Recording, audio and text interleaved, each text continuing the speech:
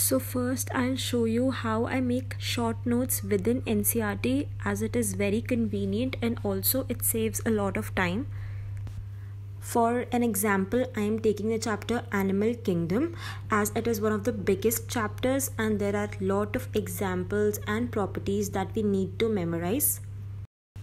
So let us move on to the phylum part as it is the most important part in this chapter. So for an example, let us take the phylum Coelenterata or Cnidaria. So first I read all what is written in the paragraph like everything I read.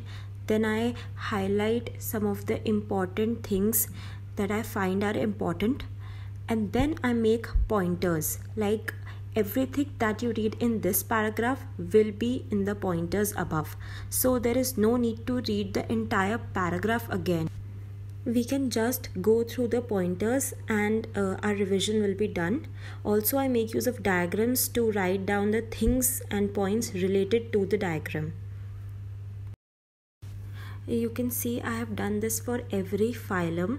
I have written all the properties related to that phylum in the pointers and then i have written the name of the organism below the diagram for memorizing it quickly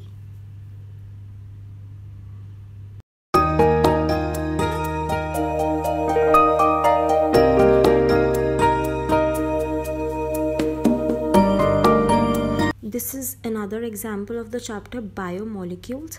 Uh, as you can see i have just read the entire paragraph and have made short notes like what i find is important in this paragraph. Also i read some reference books. So whatever i find is important and extra i just write it down also. So for fats like i have written for amino acids for proteins i have written whatever i find is important. And you can have a look. I just uh, have written everything for all the biomolecules.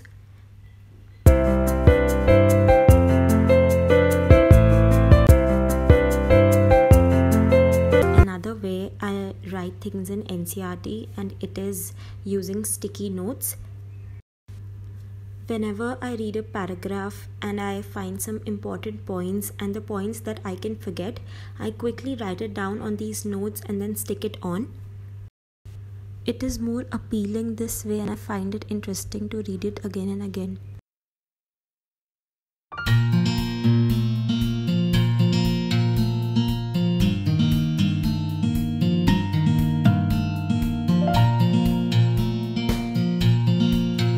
So uh, these are the flashcards that are prepared for some of the chapters and it is one of the most convenient way that I find to remember things like small things and examples. For microbes for example this is the chapter which has a lot of examples. So i wrote down all the examples. Also for biotech flowering plants and biodiversity which has all the factual data i have written it in these notes and i read it again and again. This is one of the most important things that i did myself whenever I read any reference book or I give any practice tests and I find points that are not mentioned in NCERT, I make I write down those points in these flashcards that I made. These are some of the examples of living world, animal kingdom, biological classification,